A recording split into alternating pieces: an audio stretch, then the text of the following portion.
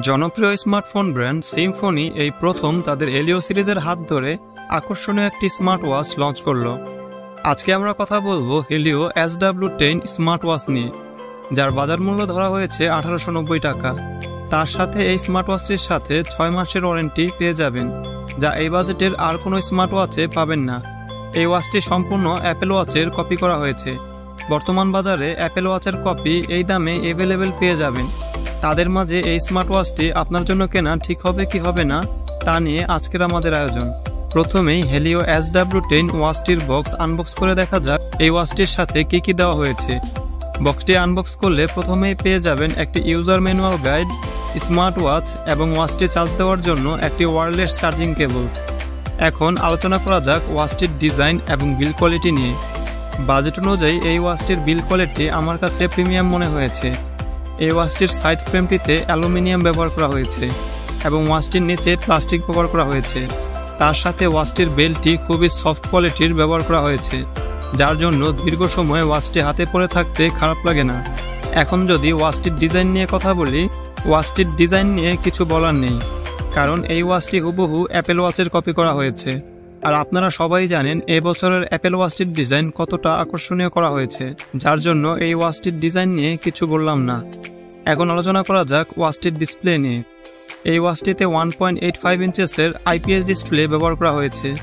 যার রেজুলেশন হিসাবে ব্যবহার করা হয়েছে তিনশো বিশ ইন্টু তিনশো আশি।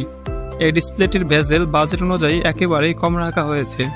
যার জন্য ডিসপ্লেটি দেখতে চমৎকার লাগে। কিন্তু ডিসপ্লেটির রেজুলেশন কম থাকায় ডিসপ্লেটিতে শার্পনেসের অভাব লক্ষ্য করা যায়।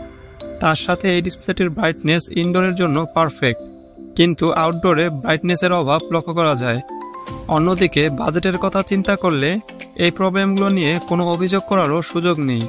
এখন আলোচনা করা যাক ওয়াচটির কল কোয়ালিটি নিয়ে। বাজেট অনুযায়ী এই ওয়াচটির কল কোয়ালিটি নিয়ে আমার কোনো অভিযোগ নেই। কারণ এই ওয়াচটি দিয়ে কথা বললে অপর প্রান্তের মানুষটি আপনার কথা ক্লিয়ার শুনতে পায়। তার সাথে এই ওয়াচটির স্পিকার সাউন্ড কোয়ালিটি মোটামুটি লাউড এবং ক্লিয়ার যার কারণে অপর প্রান্তের মানুষটির কথাও খুব ক্লিয়ার শোনা যায়। বাজেট অনুযায়ী এই ওয়াচটির কল কোয়ালিটি নিয়ে আমি হ্যাপি ছিলাম। এই ওয়াচটিতে ফিফটি টু এক্সারসাইজ মোড রয়েছে। তার সাথে heartbeat sensor blood oxygen sensor ব্যবহার করা হয়েছে। কিন্তু এই ওয়াচটিতে ফ্যাক সেন্সর ব্যবহার করা হয়েছে। অন্যদিকে এই বাজেট বিবেচনা করলে অরিজিনাল সেন্সর আশা করাও বোকামি। এই ওয়াচটি IP sixty seven water and dust resistant যার ফলে হালকা পাতলা পানিতে এই ওয়াচটির কিছু হবে না। এখন আলোচনা করা যাক ওয়াচটির ব্যাটারি নিয়ে। এই ওয়াচটিতে দুইশো এমএইচ এর ব্যাটারি ব্যবহার করা হয়েছে, যা দিয়ে অ্যাপস কানেক্ট ছাড়া সাত দিন ব্যবহার করতে পারবেন। কিন্তু অ্যাপসের সাথে কানেক্ট করলে তার সাথে রেগুলার ওয়াচটির মাধ্যমে কথা বললে বড় জোর দুই দিন চার্জ ব্যাকআপ পাবেন। এখন আলোচনা করা যাক এই বাজেটে এই ওয়াচটি আপনার জন্য কেনা ঠিক হবে কি হবে না। এই ওয়াচটি এই বাজেটে মেটেল বডির সাথে ছয় মাসের ওয়ারেন্টি দিচ্ছে, যা এই বাজেটের আর কোনো স্মার্ট ওয়াচে পাবেন না। যারা দুই হাজার টাকা বাজেটের নিচে অ্যাপেল ওয়াচের কপি স্মার্ট ওয়াচ কিনতে চাচ্ছেন, তারা নিঃসন্দেহে এই ওয়াচটি নিতে পারেন।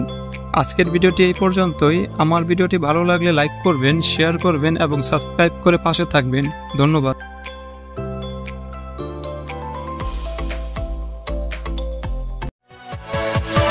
Yeah.